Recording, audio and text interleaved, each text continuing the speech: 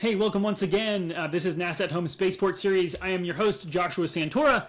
I would traditionally be coming to you live from the Kennedy Space Center, but with today's current state, I'm coming to you live from my house and super excited you're joining me to talk about plant growth in space. So, this is the advanced plant habitat. Uh, we're going to dive into this in just a second. Uh, but before we do that, I want to take a look. Obviously, we have the whole spaceport here. Um, the most prolific spaceport in all of history. And specifically today, we're looking at the research components of that. So plant uh, growth is a space endeavor now, which is pretty wild. Um, before I forget, make sure you're asking your questions live through the chat window there on the, the screen, as well as um, telling us what you'd like to see in future episodes. And be sure to subscribe to our channel so you never miss anything that we're doing and putting out as we continue the series and other spaceport activities. Uh, so I want to go ahead here and introduce my two guests. So please welcome. This is Ralph. Uh, Ralph, actually, sorry about that. One second. Say, uh, say your last name for me, Ralph. I'm not sure I pronounce it correctly. Oh, sorry. Try one more time. Fritsche. Fritsche. Okay, senior project manager for Space Crop Production. Uh, thanks for being here. Um, Matt, is it Matt Roman? It's uh, Romeyn. Romeyn. Sorry about that. Project scientist for Space Crop Production.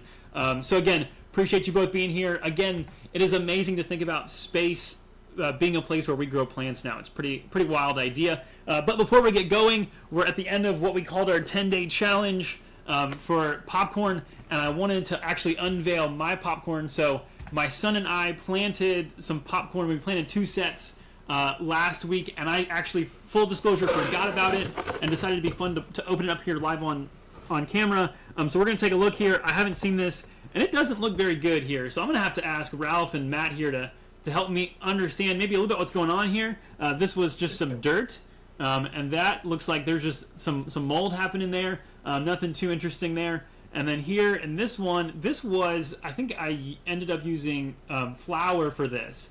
So obviously, uh, not a whole lot of growth there. So um, I'm probably not cut out for the space plant growth world, uh, but want to get your your thoughts on what you're seeing here. Uh, can you give me anything on on what went wrong here? uh, well, your, uh, your, yeah, your, your colorful one looks like it has a slime mold on the surface there. This one right here. Yeah, yeah. Those slime molds are generally a problem in space too, so it's not just you. But throwing the, the wheat on there gave a little bit of carbohydrates for something to come in and colonize. All right, so be sure to. One, I'm guessing you just underwatered it, maybe. I mean, it looks like a bowl of dirt to me. maybe so. May, maybe so. Um, but anyway, that's not why we're here today. Uh, but do want to encourage you if you if you send out uh, if, you if you do the popcorn challenge, I'm going to try again. I'm going to use paper towels next time because I've seen those work really well. Send us your photos and your information at, at hashtag NASA at home. Uh, but today, advanced plant habitat. So let's jump right in here. Matt, tell us about advanced plant habitat. Uh, what what is it and what's it for? Well, the Advanced Plant Habitat, we call it APH. It's one of several plant growth systems we have on the ISS. We also have two veggies, which people are probably familiar with. The Advanced, Advanced Plant Habitat is our more advanced system. It has 180 sensors, fully controlled environment, bunch of cameras, really advanced lighting system. It's like our, our Cadillac growth system. And we are we've had several tests done in that, and we are going to be sending hatch chili peppers up what we're working on right now. So that's one of the, the first tests. Actually, it's a recent test with radishes right there. So there's a pepper. So we are growing a type of hatch chili pepper. It's from New Mexico. It's actually called the Española Improved. It's a cross between a southern New Mexico pepper that's generally a warmer weather pepper and a pepper that's native to New Mexico from the northern region that's more mountainous. So since it has that shorter day cycle, it's actually really good for space because it's easier to dwarf it and it handles the temperature we have on station a lot better than a crop that's used to growing in an arid grassland, for instance. So you mentioned obviously we call it the advanced plant habitat. So uh, what makes it so much more advanced? Because I think that we're comparing that to uh, veggie being one of the first, and and certainly it's on the more recent side of things. Um, so what's making this advanced plant habitat? Well, so compared to veggie, veggie is really just a light cap, the fan, and the hills are all passively watered. The advanced plant habitat has advanced watering system where it's sending water through porous ceramic tubes into the root zone. You've got many sensors in the root zone measuring things like moisture level, temperature, oxygen levels. You've got numerous atmosphere control systems that can change everything. If we want to increase the CO2 level, we can do it. Decrease it, same thing.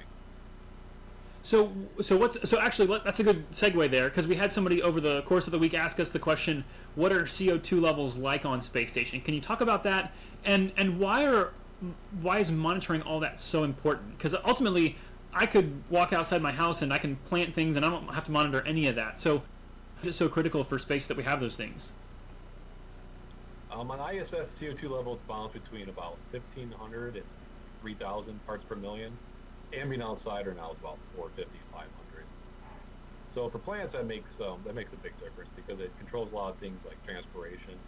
But for plants, CO2 is really basically their food. That's ultimately the source of the carbon that makes their, their fruit and leaves and everything. So by having that too high, we've noticed numerous, you know, sometimes issues, sometimes benefits for plants. Okay. Very cool. And so let's talk about peppers. Obviously, we've shown peppers a decent amount now. Um, so, uh, why is are peppers so important? Why is that kind of a, a, hot topic for you guys? Well, for one, the curs us for hot food.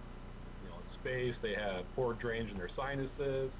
That decreases their taste sensation, and they request more flavorful foods.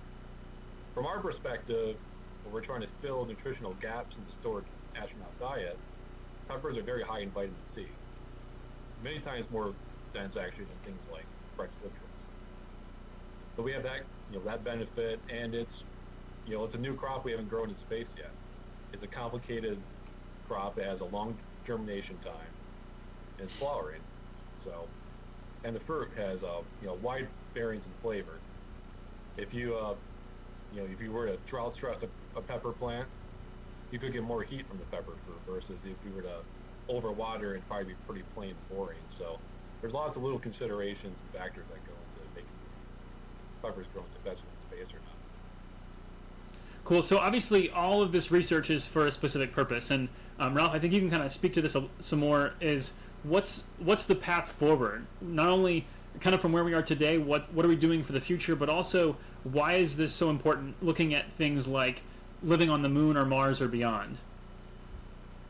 Well, you know, when we start talking about feeding astronauts in space. Um, historically, we've always shipped the food up from the ground, prepackaged diet, and that worked well when we are in low Earth orbit. and We have relatively consistent access to low, uh, you know, near space. Uh, once we start talking about getting away from low Earth orbit, going to missions to the moon and Mars, and staying there for extended periods of time, now we have to worry about several things. First of all, the distance to get to these places, especially Mars, takes a lot of time. So, what's the relative effectiveness of the nutrition in the prepackaged meals when I start talking about missions three plus years? Uh, they start to degrade certain key nutrients, the ones that we're targeting to try to supplement, start to degrade over that period of time. Uh, you also have the logistical resupply mass. So not the crews are not going to have benefit of constant resupply from Earth. They're going to have to bring with them what they can take in their vehicle or things are going to have to be pre-positioned. But fresh food, they're not going to have access to anymore with resupply. So it's going to be up to the folks on the spacecraft themselves to be able to grow supplemental aspects of nutrition for their diet. and that adds not only the nutrients, it also um, adds variety to the food that they have. In addition to that, it gives them something to do and it gives them something that's reminiscent of home. Um, so there's a psychosocial benefit. So there's, it, it's, it's definitely going to be a component of the diet when you look at how exploration has evolved on the earth uh, ever since, you know, the first explorers came to the New World and beyond. They brought plants from home with them. They brought things they were familiar with. So it's part of our culture and the human nature to be able to do that kind of thing. So, thinking about that, have we seen kind of a, a psychological impact in the research we've done on station? Because obviously, you talk about all these things that make it different than space station. We have the the far destinations we're going to where we have to transport things with you. Um, so, how do we have that tangible result of, of how it's benefiting them today on station? So we actually just um, completed a study few months ago that gathered the first real quantitative data on that. So I don't, I don't want to jump out and make any statements on you know, that right now. But in general, with our exit interviews the crew, they they enjoy the growing plants in space. So, if nothing else, it's enjoyable. Yeah. Hey, that's important. Um, hey, I want to have Ralph, if you could kind of speak to. We have some images here, uh, some very futuristic looking things. Um, number one, what are we looking at here, and how does this uh, apply to just the idea of plant growth beyond our world? You know, so I, th- I think what you're seeing are just some of the early concepts, and there's a, a lot of different concepts out there for base camps, habitation systems, early early systems on the surface of Mars, things that are going to evolve over time and scale up over time. And so there's a lot of different either academia or commercial interests looking at studying what are the best types of habitats to design. And ultimately, if we're talking about eventually growing plants as a supplemental source of food or as a caloric replacement to prepackaged food system, we're going to need volume to be able to do that, space to spread out in. So um, when I start talking about deploying systems like that long term on the moon and Mars, it's going to be something that's going to be an evolution of the first missions to the moon. Uh, likely we'll use the moon over time to develop an analog system or in other words a demonstration system of the concepts that we'll bring with us to Mars. And so what you're seeing are a lot of different representations of how do I deploy and, and, and make these systems. In a lot of cases, it would be beneficial to use in situ resources. So if I could take the material on the moon and manufacture a surface habitat out of that material, for example, perhaps even 3D print it, uh, that would be beneficial. So, and if you, can you guys still hear me? My, my, my link looks like it went out. Yep, I've got you, Ralph, loud and clear. Okay, just bear with me. I'm bringing you up. Um, so, so basically, that's what you're seeing are different concepts. The one that was populated with a lot of plants is a system that was developed and has been um, used at the University of Arizona to show a confined space for growing plants. We're actually looking at Kennedy Space Center to acquiring one of those systems so we can do further research in a more spread out area to test different hardware systems. A lot of our focus right now is based on the plants themselves, and we're looking at seeing what are the best hardware systems to grow these plants in long term. So uh, we're out of time for today, but wanted to ask you both if you if you ever envisioned yourself working on plant growth for space. Obviously, when it comes to plant growth and scientific research, there's lots of opportunity on Earth. But did you ever think you'd be doing this for space?